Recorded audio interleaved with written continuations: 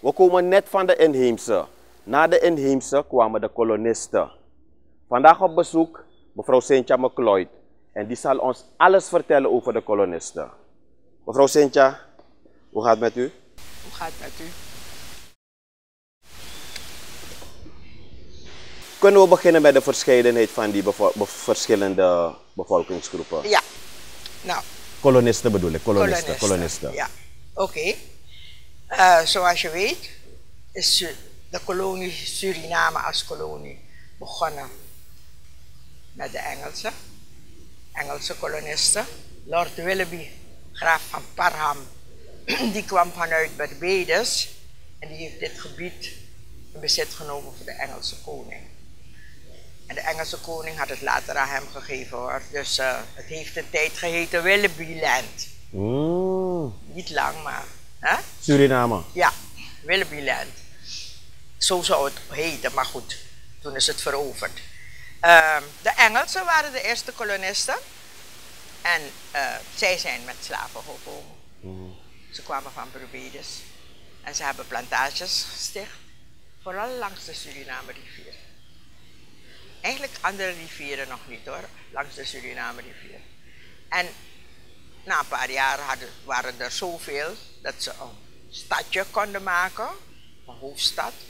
En dat, het hoofdstadje, het heette Torarica. Maar waren het alleen Engelsen? Ja, vooral Engelsen. Na een tijdje zijn er Portugese Joden gekomen. Mm, Hè? Maar eerst even over de Engelsen, het hoofdstadje, Torarica. Het lag op een plek van een vroegere inheemse, een vroeger inheems dorp aan de Suriname rivier. In de buurt van waar nu Overbridge is, daar ongeveer. Oh, daar aan die Hè? kant. Ja, de dominee van het Engels stadje Ja. heette Overbridge. De- en hij had terrein naast dat stadje Ja. voor zijn plantage. Daarom heet daar Overbridge. Weet je waarom ze naar Suriname zijn gekomen? De Engelsen? Aha. Ja, natuurlijk. Ze zochten gebied om plantages te beginnen. En er was ook een ruzie in Engeland. En de koning was afgezet. Aha. En de koningsgezinden, want toen was er geloof ik Cromwell. In ieder geval, er was een soort interne ruzie daar. En de koningsgezinden zijn naar Suriname gekomen. Mm, maar weet u welk jaartal? Ja, ja, 16 ongeveer, maar we nemen 1650 aan. Het kan een beetje eerder zijn gebeurd, maar we nemen aan 1650. Mhm. Wat zijn de markante perioden, in, eh, ma- markante momenten van die periode? Nou, het is geweldig goed gegaan. Ze zijn plantages begonnen. En eh, suikerplantages. En na tien jaar exporteerden ze al meer dan duizend ton suiker. En daar ging het om. Dus ze zijn is eh, zeer goed gegaan. Ze waren zeer tevreden en zeer happy met hun plantages. Kunt u ons een beetje vertellen over die plantages? Ja, veel is er niet meer.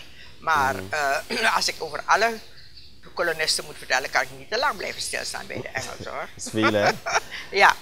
Nou, een paar jaar later, omstreeks 1654, zijn gekomen Portugese Joden. Mm, Er waren al een paar Portugese Joden al hier gekomen. Maar, en in die tijd, eh, de stad Amsterdam en de West-Indische Compagnie bezaten in Brazilië Pernambuco en Recife. Maar in 1654 zijn ze dat weer kwijtgeraakt aan de Portugezen. En die Joden waren verschrikkelijk bang van die katholieke Portugezen. En die zijn weggegaan. En naar hier gekomen via Cayenne. Ze zijn ver de Suriname rivier opgevaren. Op zoek naar goed water. En ook om een beetje beschermd te zijn. Want ze waren al veel keren gevlucht. Hè? Van Portugal naar Amsterdam, van Amsterdam naar Brazilië. En toen van Brazilië weer naar hier. Dus ze wilden niet meer hoeven te vluchten. Maar om geloofsredenen hè, zijn zij dus hier gekomen. En de Engelsen waren wel tolerant ten opzichte van die Joden. En zij hebben dus ook plantages gesticht aan de Suriname rivier. En na een poosje hebben ze een stadje, zijn ze een stadje gaan bouwen. De eerste ze waren gegaan naar, in de omgeving van Casipura, maar na een tijd zijn ze, hebben ze Joden Savannah gebouwd. maar, maar, maar mevrouw Cynthia, waren er ook Franse kolonisten hier? Want als ik Ja, luister naar ja, die namen ja, Toetlifo, ja. eh, Dan komen we nu bij de Fransen. ja, Dus we zijn eerst, eerst, dus we doen het in chronologische volgorde, toch? Dus de Engelsen, de Joden, en in 1667 is dit gebied veroverd door de Zeeuwen. Oh. Ja, toch? Veroverd, dat was van de Engelsen, veroverd. Ondertussen in 1667 had, ne- eh, was er oorlog, Tweede Engelse oorlog in Engeland en de Verenigde Republiek. De, zeven Verenigde Provinciën waren in oorlog met elkaar. Ja? De Engelsen hadden eerst de kolonie van de zeven Verenigde Provinciën, van de West-Indische Compagnie, gepakt in, in Noord-Amerika. Ja, het eiland van Manhattan, alles heette daar Nieuw-Nederland. Ja, maar er was oorlog. Nou, toen hebben die zeven Verenigde Provinciën hebben gedacht, nou, wij gaan van hun pakken.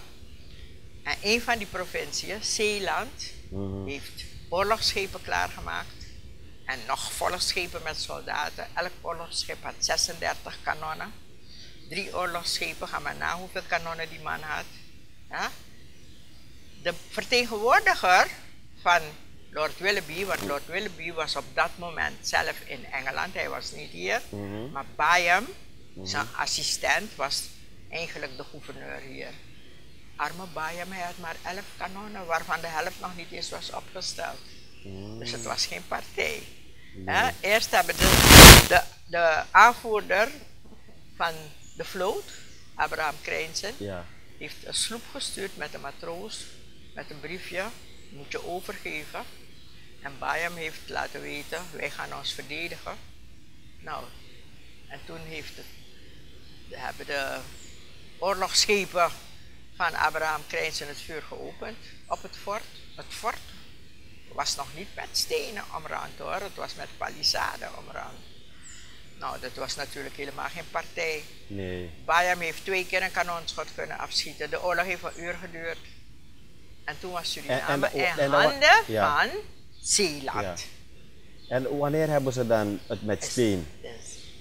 Dus Zeelandia heeft het omgebouwd. De Zeeuwen hebben het Oh, omgebouwd. oh. Het was nog lang niet af. De Zeeuwen hebben het afgebouwd. Het had vijf bastions.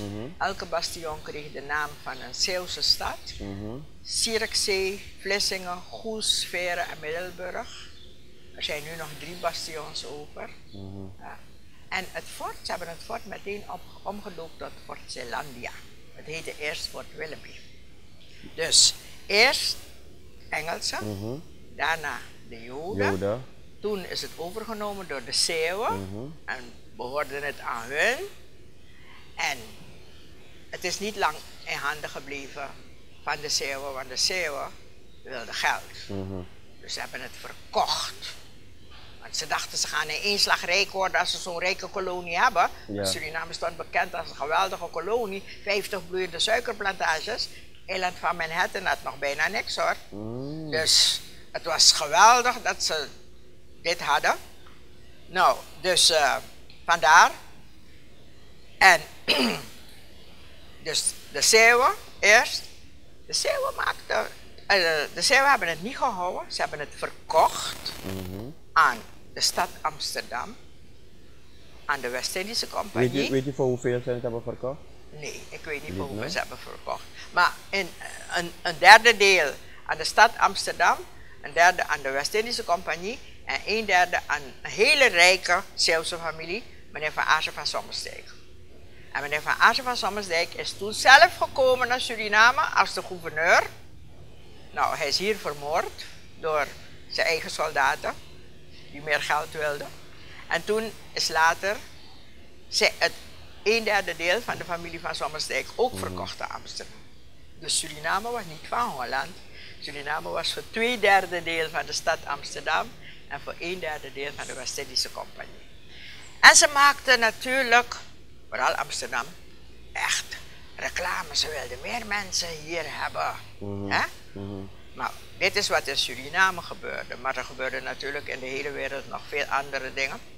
En zo was er in Frankrijk, waren er, het was de tijd van het protestantisme toch? Dus er waren in Frankrijk ook protestanten. Men noemde ze hugenoten, want hun eerste eh, priester of eerste dominee was, heette Hugo, dus vandaar die naam Hugenoten, Franse Hugenoten. De, de grootvader van Lodewijk XIV had een edict geslagen. Het edict van Nantes. Dat Frankrijk alle godsdiensten erkende. Dat stond in dat edict. Dus de, de protestanten hadden het niet moeilijk in Frankrijk. Maar zijn kleinzoon, Lodewijk XIV, heeft in 1685 het edict van Nantes opgeheven. En toen werd Frankrijk weer een katholiek land. En het was niet de bedoeling van de koning dat ze die protestanten moesten vervolgen, maar dat hebben de katholieken wel gedaan. En toen zijn dus die protestanten, die uitgerekende mensen waren met geld en Ja. grote landerijen en wijngaarden, die zijn weggegaan. En ze zijn gegaan naar waar protestant was. Nederland, Amsterdam. Ja? En ja, die heeft ze ontvangen natuurlijk. Maar ja, ze vonden het wel koud hoor in Nederland. En ze waren gewend aan hun grote landerijen. Dus Amsterdam heeft ze geïnteresseerd. We hebben een kolonie, geweldige kolonie. Je kan daar naartoe gaan, Suriname. kan je ook rijk worden. En zo zijn de Franse hugenoten naar Suriname gekomen. Niet met duizenden tegelijk, maar families en zo. En je noemde zo net die namen. Ja, Kijk, je kan zien, daaraan kan je zien hoeveel heimwee ze hadden.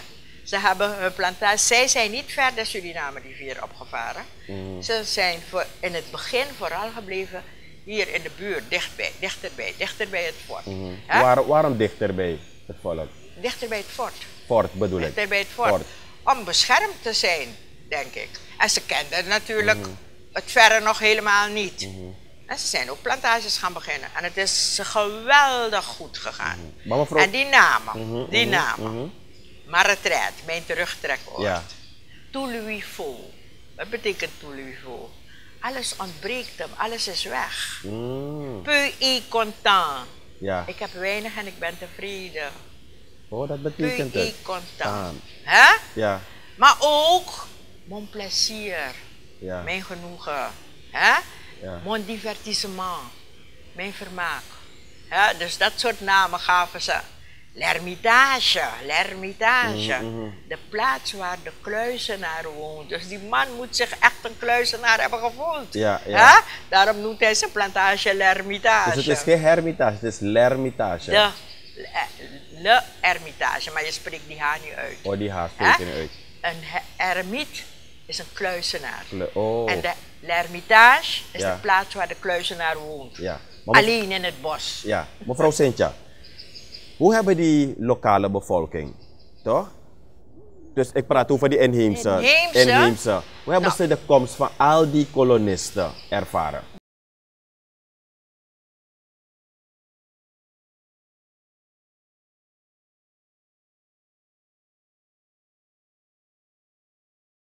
Ik heb altijd achter je gestaan. Zelfs op de momenten dat jouw steunen mij pijn deed. Ik wilde altijd het beste uit je halen, zodat jouw basis goed was en je beschermd was tegen leed. Ik wilde je altijd groot zien worden. Groot, sterk en gezond. Ook op de moeilijkste momenten was ik er voor je. Vaak op de achtergrond. Om Sawaloa tra.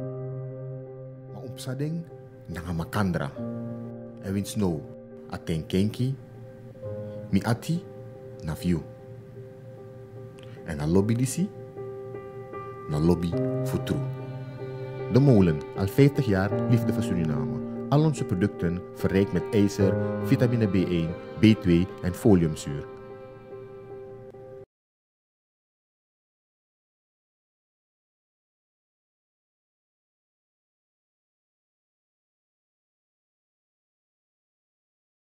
Dat zou je aan de inheemse zelf moeten vragen.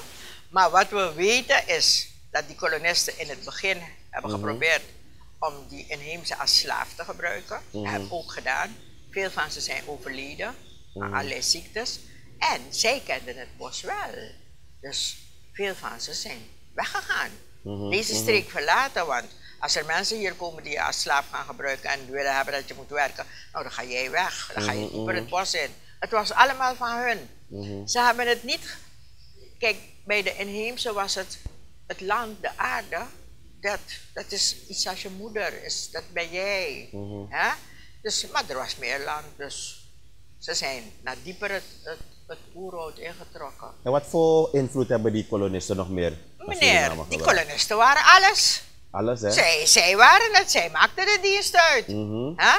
Ze hebben slaven laten komen om te kunnen werken op hun plantages. Mhm. Dus je had hier in het begin een samenleving die bestond uit plantage-eigenaren met huns en een paar andere, ik denk niet dat er veel andere mensen waren hoor, en, en slaven die werkten op de plantages.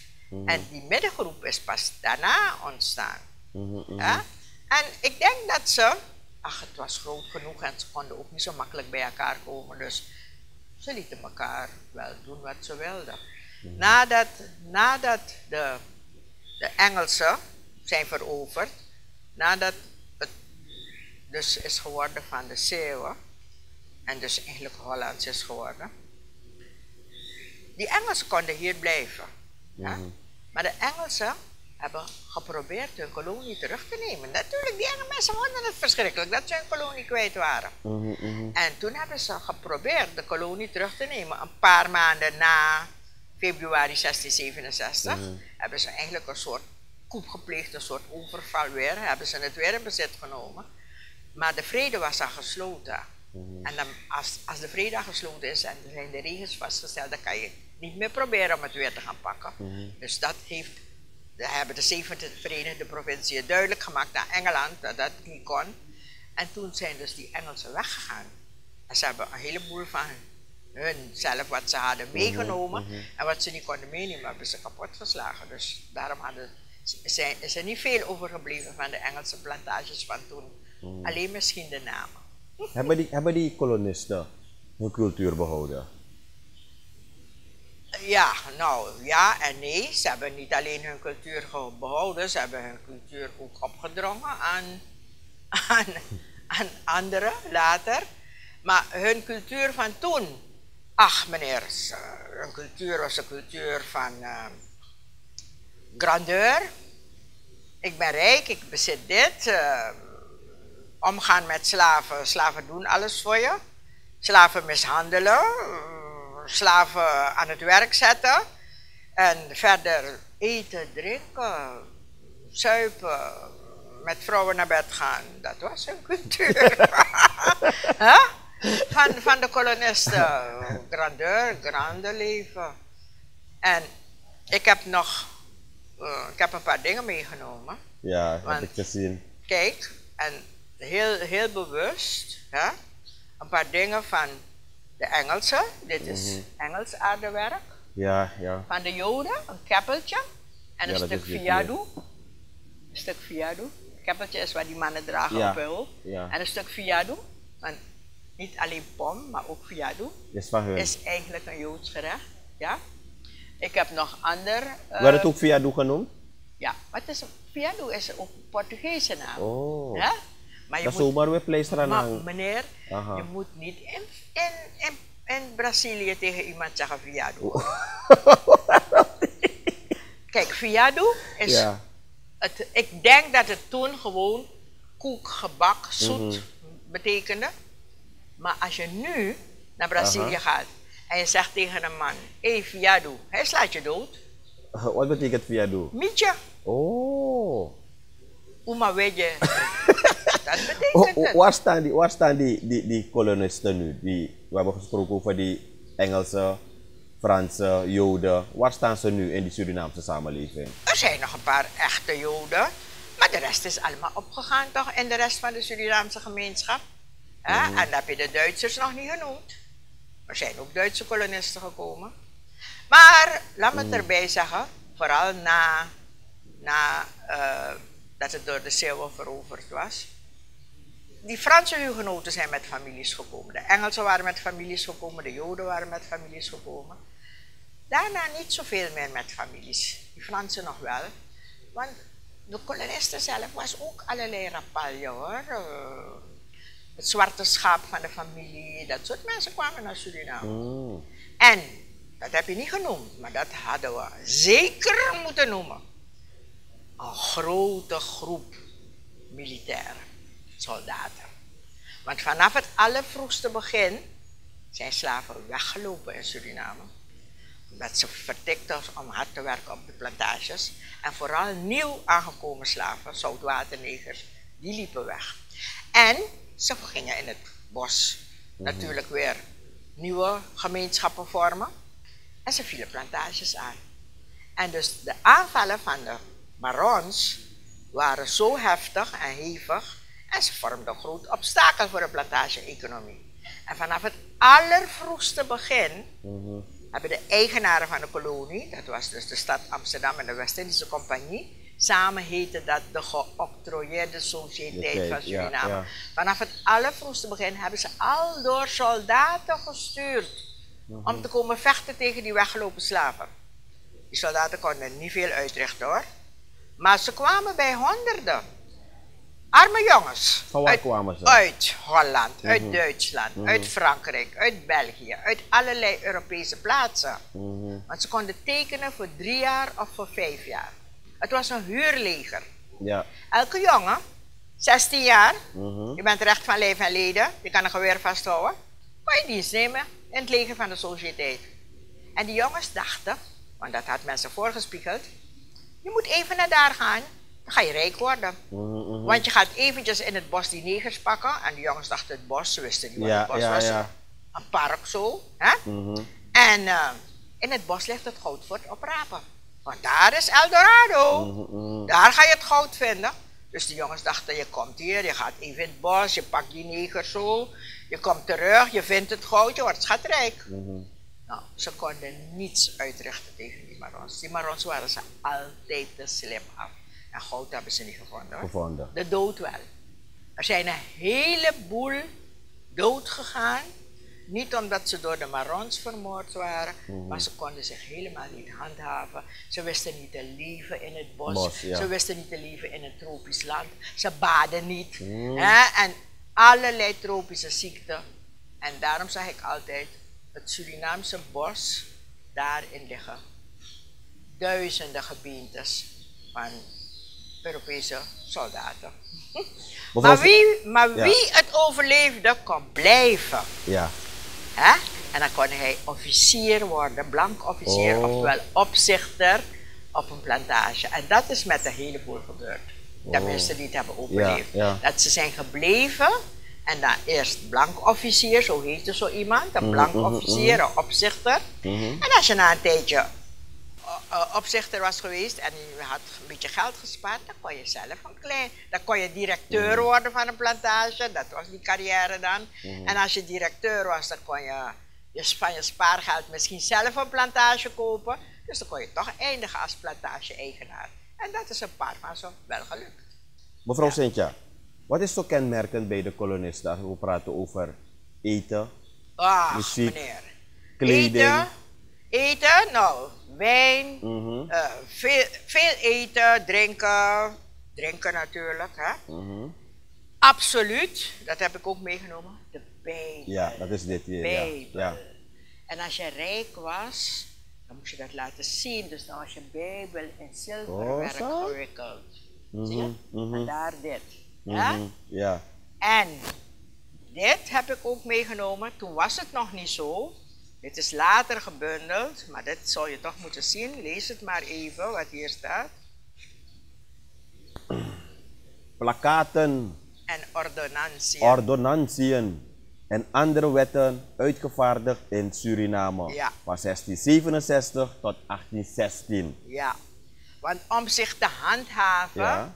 hebben deze mensen natuurlijk een heleboel wetten gemaakt. Ja? Ik denk dat ze veel vlotter wetten maakten dan, de, dan het parlement van nu. Als je nagaat hoeveel wetten er zijn, plakaten. En daarin werd precies gezegd wat mocht en wat niet mocht. Ja, liever gezegd wat meer wat niet mocht. Hè? Dus hoe je, de omgang met slaven. Dit, dit, soort, dit boek was er zeker niet in Holland. Dit is alleen voor Suriname. hoe men zich hier moest gedragen. Alle dingen staan erin, bijvoorbeeld dat slaven niet met meer dan drie mensen op straat mogen lopen. Dat als ze een blanke zien aankomen, dat ze opzij moeten gaan. En dat ze beleefd moeten groeten en zo. Al die dingen staan hierin. Kleding. Wat is zo kenmerkend? Ja, in die tijd, zeker in 16 zoveel, 17 zoveel, grote kleren toch? Grote jurken, weelderig kant, fluweel. Hè? En de mannen ook, kragen zo, schoenen met gouden gespen. Eigenlijk, dat zie je het best in de inventarissen. Hè? Kijk, als je rijk was, nou, er zijn heel veel inventarissen gemaakt. Want als iemand doodging en er, was een, er werd geërfd, dan werd er inventaris eerst gemaakt toch, van hoe de verdeling zou Ja, zijn. ja.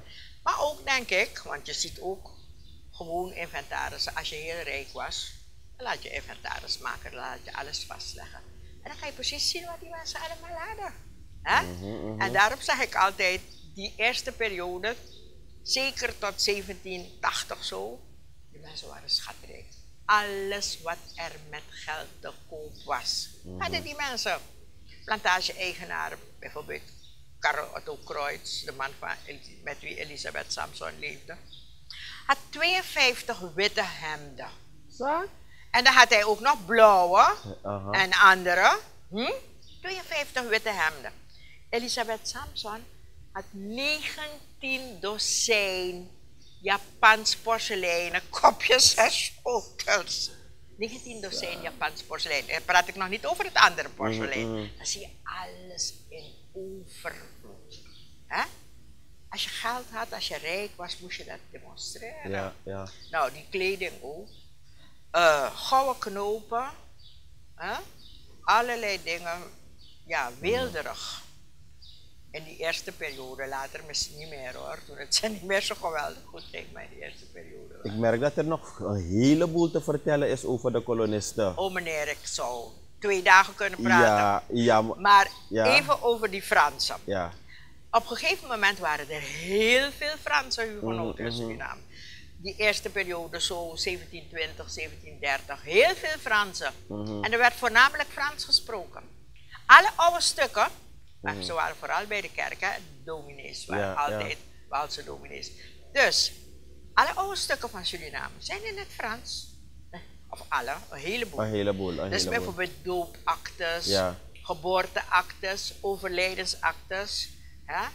Die zijn allemaal in het Frans in het Mhm, begin. En ik weet niet precies in welk jaar, maar het moet ergens in 17 zoveel en 30 is het vastgelegd dat de officiële taal het Nederlands zou zijn.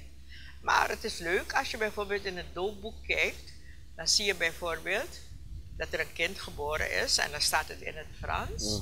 eh, Baptiste gedoopt. Hè? Ja. Eh, eh, Jean-Philippe, hè? de naam eh Le Fils de, en dan komt er de naam van de ouders. Ja. Hè? Maar twintig jaar later, dan gaat die jongen trouwen en dan heet hij opeens Jan Philippus. maar dan is die akte in het Nederlands. Nederlands, ja, het is vertaald. Hè? Ja. Mevrouw Sintja, de regie meldt me. Ja, we gaan stoppen. Ik wil eigenlijk doorgaan. ja, maar andere Maar- keer. Ja, een andere keer gaan we door. De volgende gaan we het hebben over de Afrikanen. Bye bye, 所以说。